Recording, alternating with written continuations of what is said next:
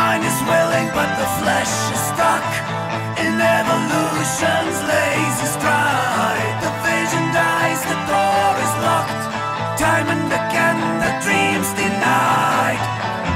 Up to the somatic tether that binds our world together.